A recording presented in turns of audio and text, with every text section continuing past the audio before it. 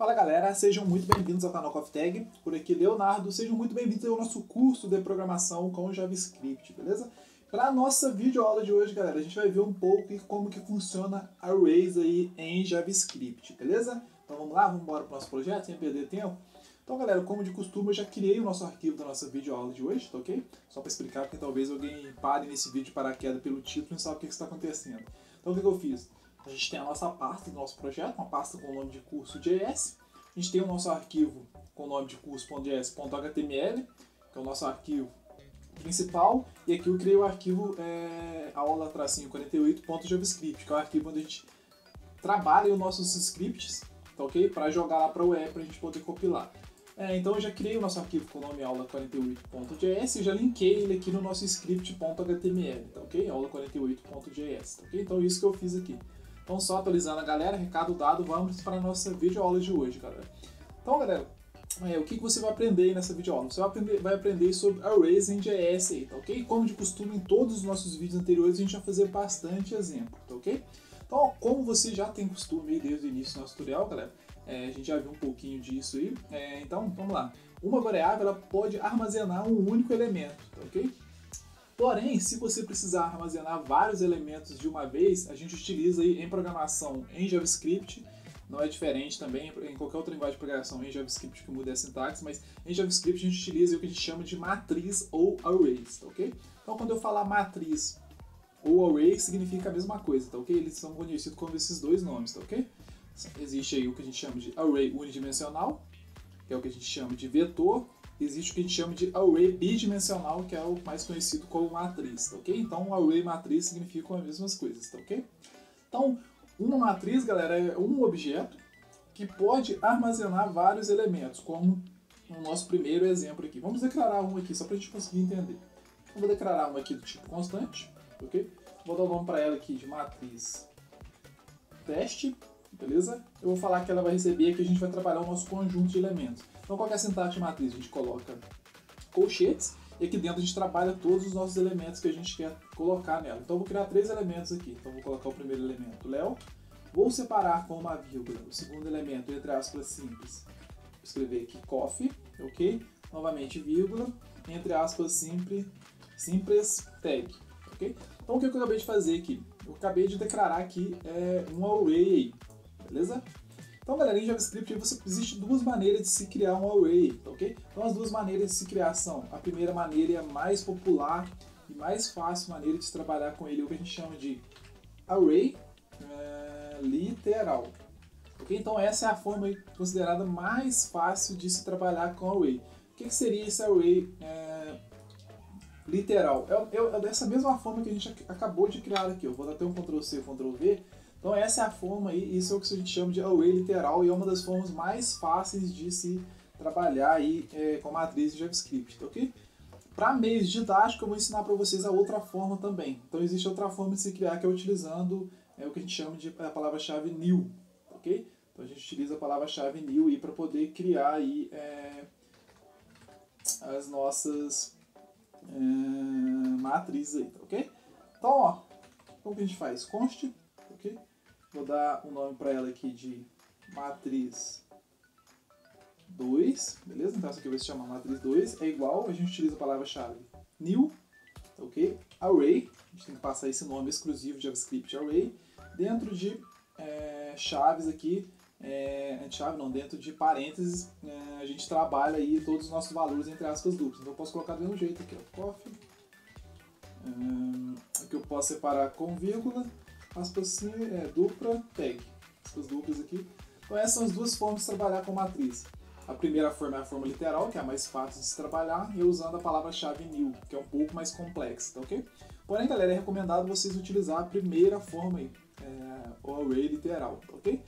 Então, existe outras maneiras, fora essas duas aqui, né? Então, existe outras maneiras de se é, trabalhar com matriz, de se é, se criar matriz vazia, alocar valores para ela ou não, tá ok? Vamos trabalhar um pouquinho aqui embaixo aí, é isso aí agora, tá ok? Vamos supor que a gente quer criar aí um array vazio, então eu vou comentar para vocês saberem o que está sendo feito, ok? Então vamos supor que a gente quer criar um array vazio, o que a gente faz? A gente, vamos declarar aqui const, colocar o nome de lista, beleza? é igual é que eu passo é, dois colchetes não coloco nenhum valor aqui dentro. Então o que, eu acabei de criar? Eu criei aqui um array vazio, ou seja, eu não pré-iniciei valores para ele, ok? A gente pode trabalhar também, galera, com arrays aí, array com vários vários valores, ok? Então a gente pode trabalhar com arrays de vários valores. Então vamos, vamos lá de novo, vou declarar um aqui do tipo const, tipo constante, ok? Vou dar um nome aqui de lista 2, beleza? É igual colchetes, é, ponto e vírgula, que eu passo os valores para ele. Então eu posso passar 2,4,5,6. Opa, 4, que eu 5, nem 6. Então o que eu acabei de criar? Eu criei um array e já pré-iniciei vários valores para ele aqui, beleza? É... Então esse array aqui, galera, eu criei ele apenas com números, tá ok? A gente pode criar também arrays com várias strings, arrays com várias strings, tá ok? Então vamos a gente declarar um array com várias strings. vou declarar um tipo constante, vou dar o um nome para ele aqui de lista 3, é igual, colchetes, espaço, ponto e vírgula, entre aspas, simples, gente passa os nossos textos aí. Então posso colocar aqui novamente Léo, beleza, vírgula, aspas simples, coffee, vírgula, aspas simples, tag. Okay? Então aqui a gente criou um array com várias strings, beleza? É... Você pode criar também, galera, arrays com diferentes tipos de dados, ok? Então, arrays, arrays com diferentes tipos de dados. Então aqui é um array com diferentes tipos de dados, então vamos lá criar aqui const, vou dar um nome agora de lista 4 é igual, beleza? Dentro de colchetes você pode passar aí diferentes valores, ou seja, você pode passar tanto strings é, quanto booleano, quanto valores do tipo numérico. Então, entre aspas simples, pode passar, por exemplo, novamente Léo, é, vírgula, aspas simples, coffee, ok? Vírgula, eu posso passar um valor numérico agora, vírgula, eu posso passar um booleano aqui, o booleano é true ou false, eu posso passar um booleano true aqui. Okay? Então, existe essas, você pode trabalhar dessas formas com arrays também, tá ok?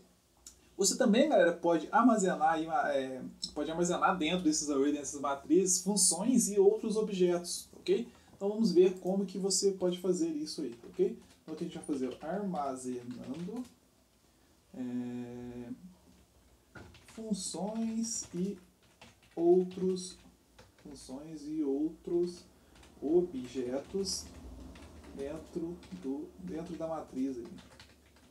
Então vamos lá ver como que a gente faz isso. Então eu vou declarar uma aqui, constante, do tipo, vou dar o nome para ela aqui, lista,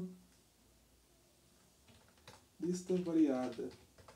Ok, nossa, como cara fala, escolher o nome da variável tem essa lista variada, igual é, colchetes, vou dar um, um, enter, dois enters aqui, né? Vamos trabalhar aqui dentro para ficar legal.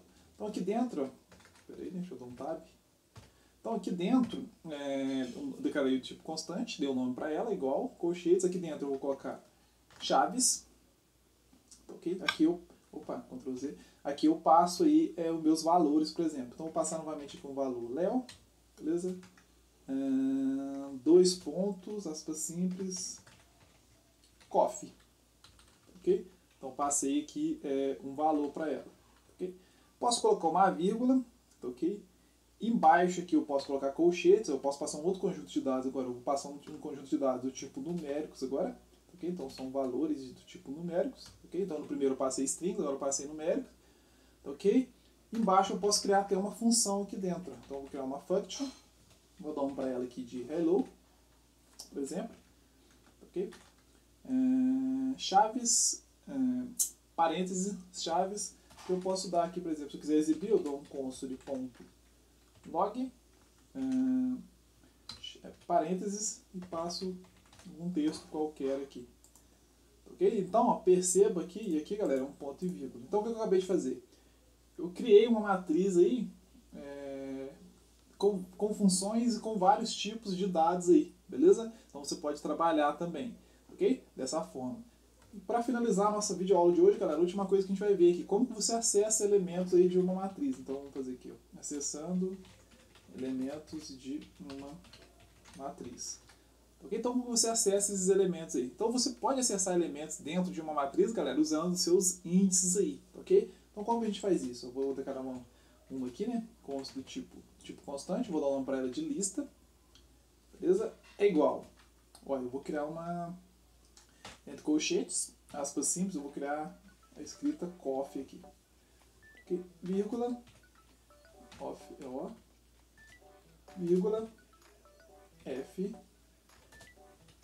vírgula, f, vírgula, aspas simples, e, vírgula, aspas simples, e. Beleza? Então, o que eu acabei de criar? Eu acabei de criar uma matriz aqui com, coffee, com seis elementos, ok?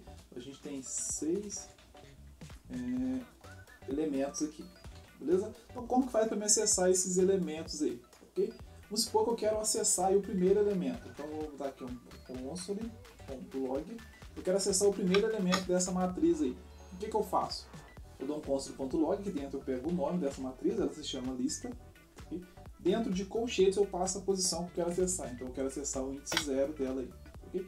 Automaticamente, o que, ele vai compilar para mim aqui? Ele vai compilar a letra C. Okay? Por quê? Porque em matriz ela começa a partir do índice zero. O que seria esse índice zero? Vamos supor que a gente acabou de declarar aqui essa matriz com seis posições aqui. Então a gente acabou de armazenar isso aqui na, memória. A gente armazenou 0, 1, 0, 1, 2, 3, 4 e 5. Então aqui ó, a gente tem seis valores começando a partir do índice zero, ok? Aí vocês podem estar perguntando, que viagem é essa? Onde entra a escrita aí? Basicamente, essa escrita que a gente acabou de criar cofre, ela está salva assim, ó. O C na posição 0, a letra O vem na posição 1, o nosso primeiro F, ele vem na nossa posição 2, o nosso segundo F vem na nossa posição 3, é, a nossa primeira letra E vem na posição 4 e a nossa última letra E da escrita COF vem na, na posição 5. Por quê? Porque ele começa a contar a partir do índice zero. Ele não começa a contar do 1 até o 5, ele conta tudo, começa a partir do zero. Como aqui são 5 valores, ele vai do zero até o 5. Se você contar, 1, 2, 3, 4, 5, são 6 valores, porém começa a partir do índice zero. Então isso aqui é muito importante você saber. Então estamos trabalhando com matriz, começa a contar a partir do é, índice zero aí, beleza? Então é isso, para que a gente acessou aí é, o índice zero vai exibir para a gente a letra C. Vamos acessar qualquer outra posição. Vamos supor que eu quero acessar aqui a letra F. Então a letra F, a primeira letra F. Então basicamente é só a letra F aqui, ela está no meu índice 2. Então seria só dar aqui um console ponto log parênteses lista dentro de colchetes eu passo aqui é, o meu índice 2 beleza? ponto e vírgula aqui ele acessaria para mim ó, minha primeira letra F aí. Perfeito? Então basicamente é isso, galera. É, só um lembrete novamente, lembre-se que em matriz ele começa sempre a partir do índice zero, beleza? E é isso. Então creio que para essa videoaula tá ok. Na nossa videoaula a gente vai continuar avançando um pouco mais aí sobre arrays e matriz, tá ok? Então até a nossa próxima videoaula, se cuidem, bye bye!